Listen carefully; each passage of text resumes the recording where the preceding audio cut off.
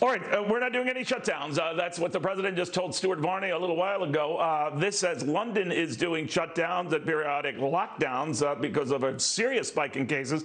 We've seen similar instances right now in Portugal and in Germany. In fact, throughout the European continent, now eclipsing us in terms of new cases.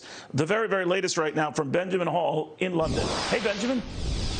Uh, hi, Neil. And in fact, here the British government also waited as long as it possibly could before reimposing restrictions. It wanted to keep businesses open. It wanted to get the economy recovering again. They were hoping upon hope that cases wouldn't rise, but they have been doing, and nothing has stopped them. So we've seen this, uh, these new restrictions coming into place. The second surge of COVID-19 cases is hitting all of Europe hard, as you say, and it's prompting containment measures across the continent. Here in London, cases are doubling now, roughly every 10 days days. And so officials have ordered what they're calling a tier two lockdown. In addition to restrictions on businesses, it now means that millions of people will be unable to meet with anyone outside of their household circle in any indoor setting. Mr. Speaker, responding to this unprecedented pandemic requires difficult choices. Some of the most difficult choices any government has had to make in peacetime. Things aren't much better in France, where a state of emergency has been declared and a 9 p.m. to 6 a.m. curfew is in effect for the worst affected areas, including Paris. Until at least the end of November, most businesses, including bars and gyms, are now closed again as the virus there continues to spread. And as the spread accelerates, some hard-hit countries are still moving ahead with their reopening plans. They simply have no choice.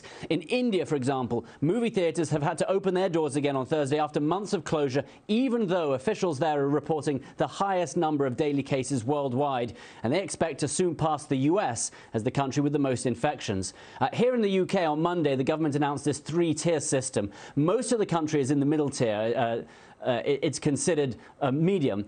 But uh, the government now has the ability to either raise that or lower that in different regions based on how the numbers are going. So we expect areas to change quite quickly based on uh, government figures. Neil?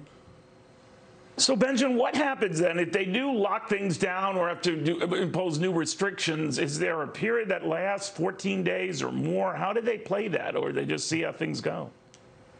Yeah, it's very difficult. They haven't given any timeline here in the UK. They've just said it is open-ended. They're trying to get what's called the R number down below one. That is how many people are infected by each infected person. Uh, that number is now up above two, and so that's why the government has had to act. But in terms of the 14-day uh, quarantine, if you will, uh, at your house, they haven't said whether that applies to hmm.